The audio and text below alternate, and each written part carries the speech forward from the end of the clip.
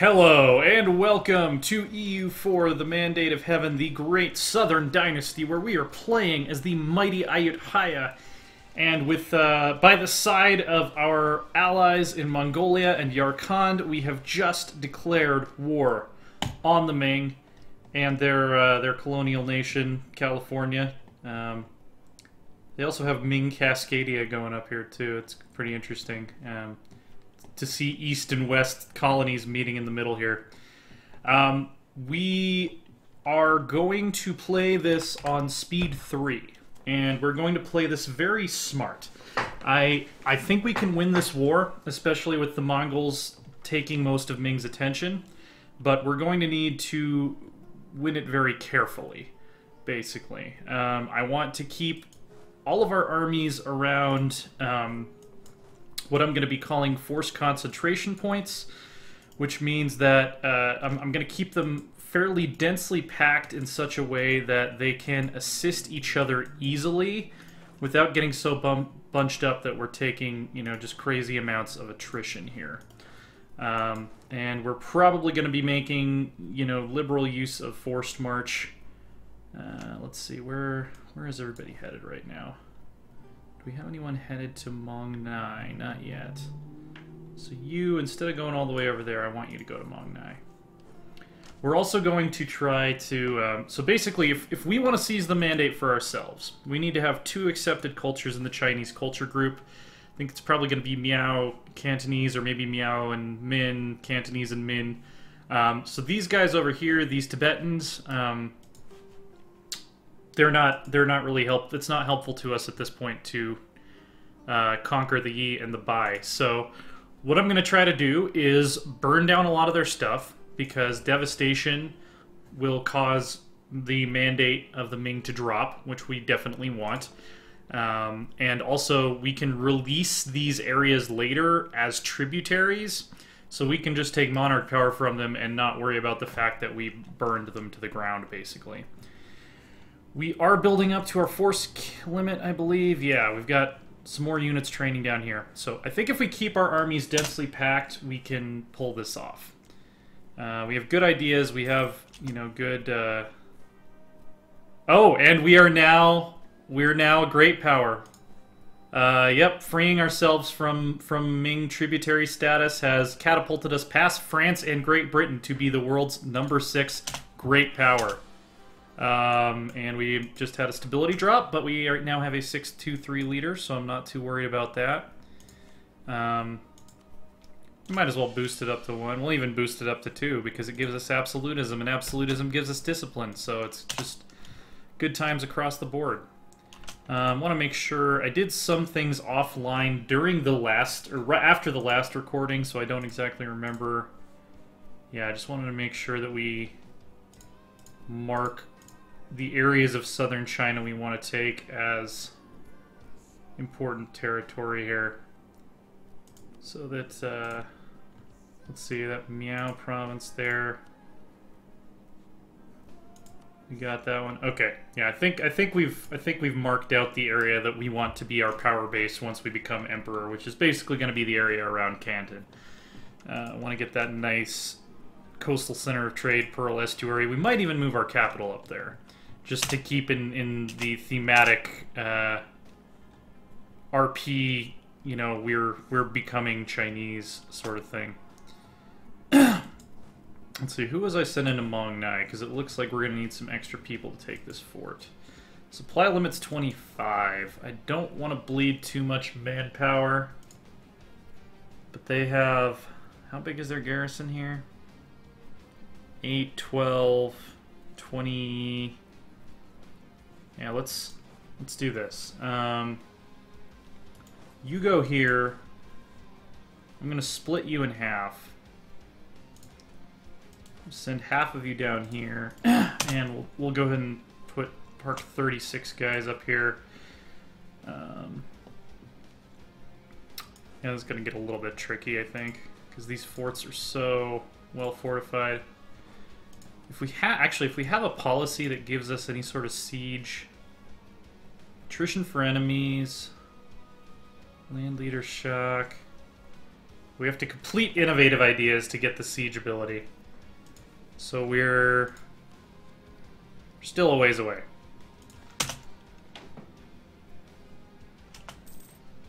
Royal marriage from Brunei. Uh, yeah, we'll accept that. I think we were trying to court them. Because here's the other thing. We're going to need tributaries once we become emperor. So I'm thinking like Pasai, uh, Majapahit, Brunei, uh, Tidor. We might try to get Bengal, Tibet, and then I'm going to try to release a bunch of these little um, Tibetan culture group states down here to serve as our tributaries because I don't really have any interest directly ruling over that area. So we'll try to play it smart. So far, um, as as might be expected, it looks like the Ming are mostly fighting the Mongols up north and uh, not causing us any trouble. So as long as that can go on, that's that's good for us. Um, can we do Scorched Earth here? Yeah, well, we want to cause as much devastation as possible to these uh, border regions. So I'm going to happily spend our mill power on Scorched Earth. Oh, I should have waited until after. That didn't lower the supply limit too much. Um, yeah, it's not too bad. So let's see if how that devastation's stacking up. It's it's it's having an impact. It's not having a very large impact, but it is having an impact. All right, so these will be our two core 36-man armies here, and we'll keep those at 36 to siege stuff. Um, I don't know why we have a diplomat on Sadia. Let's uh, let's assign our diplomats out. Put one on allies. We'll put one on neighboring countries. All right, we've gained occupation of the province. Make sure that we uh, loot it all the way before we move, because we want to cause as much devastation as possible. As I noted. Even if we don't win this war, we want to uh, eventually get to a point where um, yeah, you can go there. We want to eventually get to a point where uh, Ming's mandate is just tanking so hard that they can't pull out of the death spiral, basically. And, uh, yeah, burning their shit is going to be a good way to do that. Alright, let's move these guys up here. Again, just trying to keep reinforcements in good positions across the board. Um, and if we want to get kind of cheeky, we could do this. Do you guys have access up to Yunnan? Yeah. Let's let's create another 36-man army.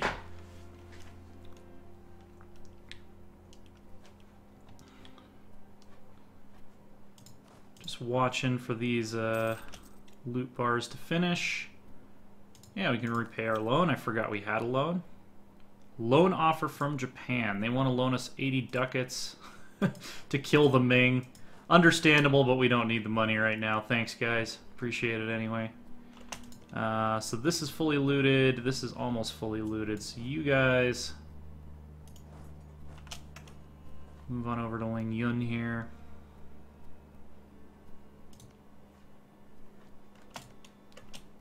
And when December clicks over, these guys should be freed up. Okay. We're making good progress here. Are we making a dent? It's still 0.0. we must cause more devastation. So Ling Yun, we will not scorch the earth because this, I believe, is part of... Yeah, this is part of the area that we want to conquer for ourselves. So we will spare them uh, they will remember, hopefully, remember us as the nice guys that did nice things for them. And these guys are now freed up. Again, I'm, I'm trying to station people in places where they will be able to most quickly respond to a Ming army marching toward us. All right. We're still losing a bunch of money. Why is that? Advisors, state, army, fleet, forts. Um, fort-wise, now we got these guys down here. Let's make sure we're not over our force limit. So these guys are going to form an extra force for us. We can turn off some of these forts that are not likely to be attacked by the Ming. Yeah, like I'm not really worried about the Bengal border right now. If they decide to attack us while we're fighting Ming, we can always turn those back on. So these are our three key forts that we need to keep up and running. Um, yeah. Mongols aren't doing so hot, but they are bleeding the Ming, which is exactly what we want to see. We want their mandate to tank as much as possible. So yeah, now that these guys are freed up... Do we have anyone going to Nanming yet? Yeah. Should probably keep them here in case they need to reinforce one of these siege stacks. Guangnan has come under our occupation. Um, that's good. Do we already scorch the earth there? Yes, we did. Alright, Ling Yun is ours. Let's move to Li Zhao. Um, and then these guys will hang out in Ling, Ling Yun in case they need to force march in to support their brethren. These forts are taking a long time to fall. Trying to get a good, uh, good mental picture of what my force concentration looks like right now. So, this stack... Now let's bring them to Caobang so that they can... Or actually, we, we, should, we could bring him to Nanming. That'll, that'll work. Come on. There we go. 0.01. Devastation. Li Zhao's come our occupation. Our trader has died. Um, we have so much Diplo power that we could probably just save the money, but... Morale of navies, eh. Why not? We can afford him. And we're waiting, uh, we're still waiting to, to buy any more techs until we've um, embraced the uh, manufactories, which is still spreading quite slowly. Probably won't be able to embrace it until after the war, but that's okay. Yes, I'm aware that there are forts in my country that have no maintenance.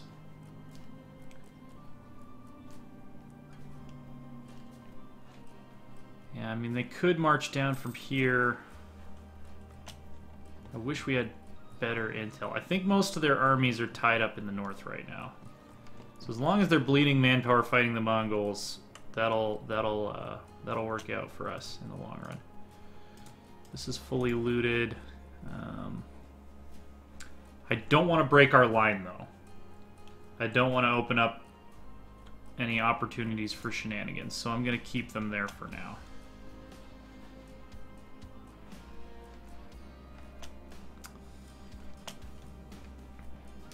Raids through the jungle. Ever since our adoption of cavalry, the mounted warriors of I think we've seen this event before. Gain 10 ducats. Dehong gets raided by cavalry. We lose a thousand manpower. Or you can gain... I think we need military power more right now. So we're trying to complete some idea sets. So yeah, a little bit of slower paced period of uh, expansion here. I think it's it's necessary for us to do this. Hmm. Hmm.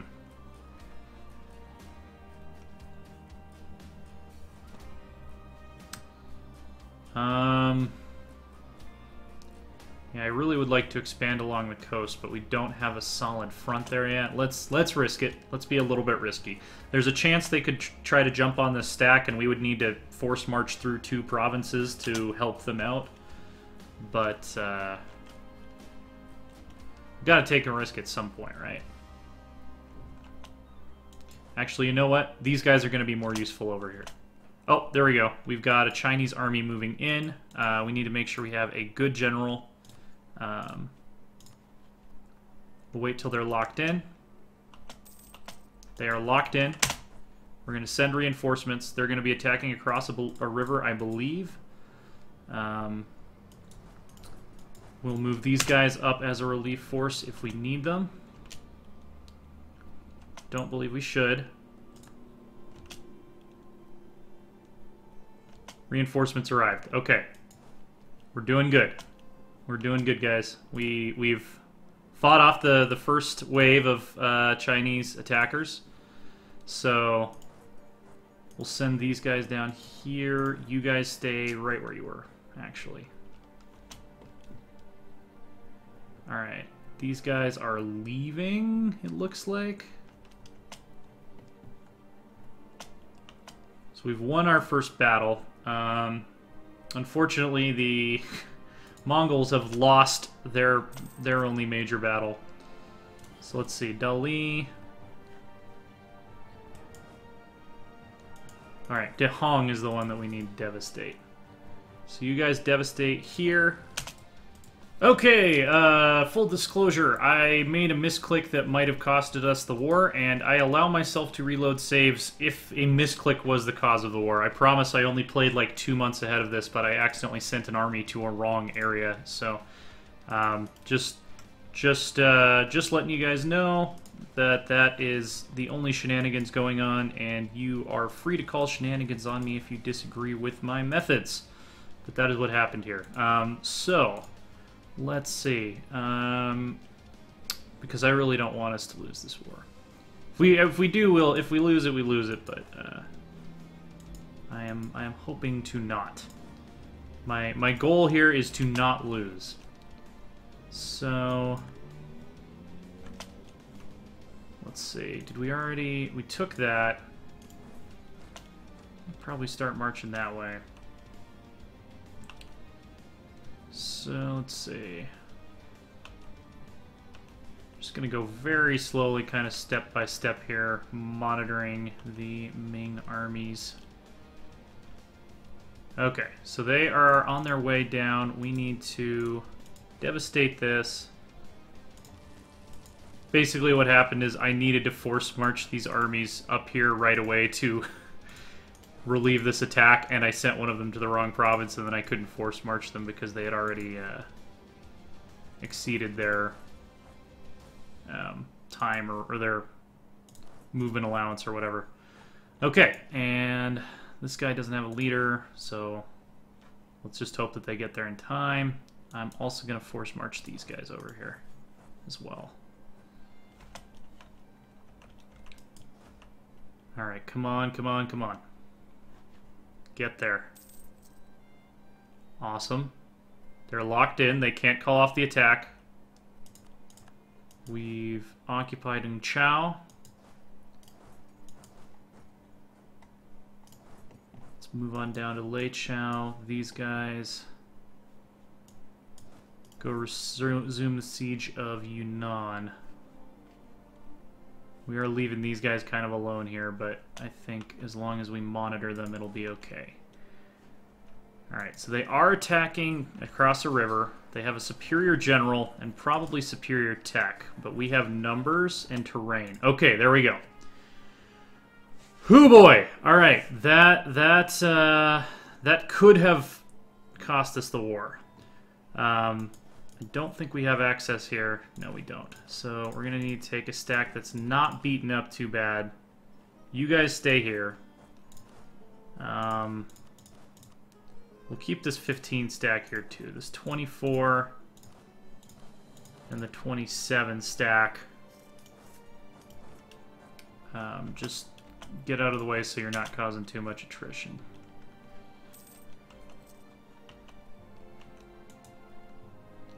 And then these guys... basically trying to rebuild our force concentration point here.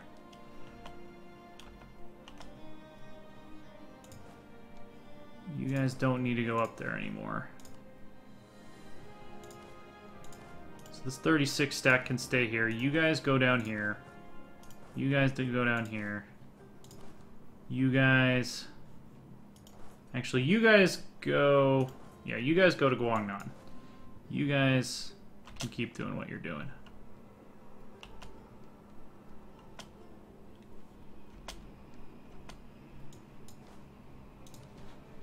Okay, we're gonna keep, we're gonna watch this like a hawk right here. I'm also gonna turn off force march on these guys because they don't need to force march to get here anymore. They're already here. We've occupied a province. Um, don't want to get stuck on this island. So I think we will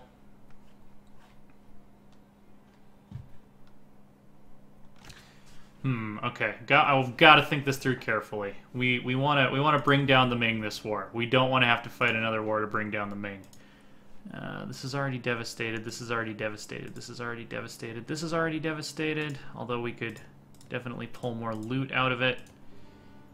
Guangnan has already been devastated. We just need to recapture it. Okay, so I think I will station these guys at Wingchun, so just so they're closer, because if we take any of these other provinces, it's just going to revert back to China anyway because of Fort Zone of Control. Our treasurer has died. We can't afford the inflation reduction guy, and we don't really need inflation reduction right now, so I think we'll grab production efficiency and we'll save some money. Okay.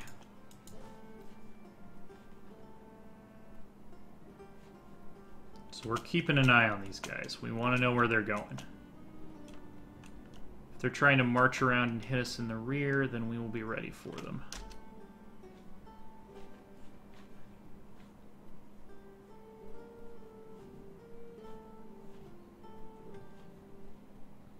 Looks like that's probably what they're doing Do we have anyone on Force March still? You should not be on Force March.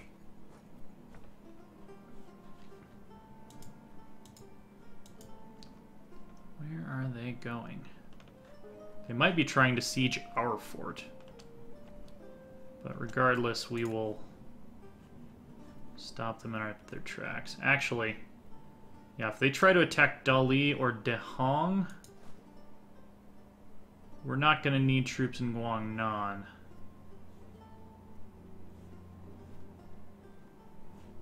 Let's bring these guys over here. Let's bring them to Senwi. We'll bring these guys to Guangnan.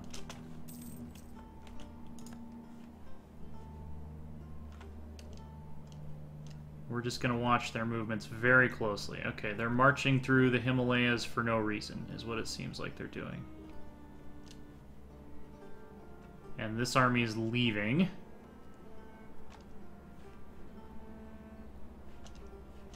Oh, are they trying? They're trying to go around this way. All right. Well, we'll turn our fort back on.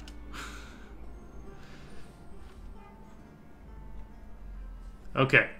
Um, we're gonna wait for these guys to get locked in.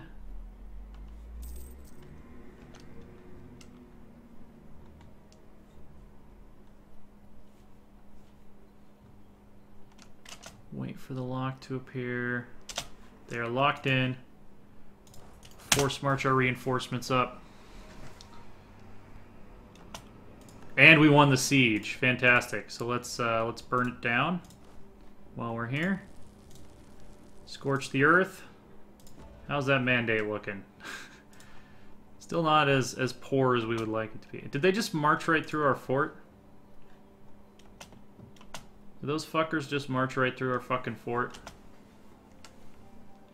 I don't know why they think they're to win this.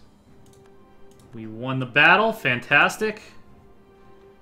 We could start demanding stuff once we get up to 10% war score, but I want to see how far we can push this. Um, we've burned through about half of our manpower so far. I hope the Ming have lost at least that much.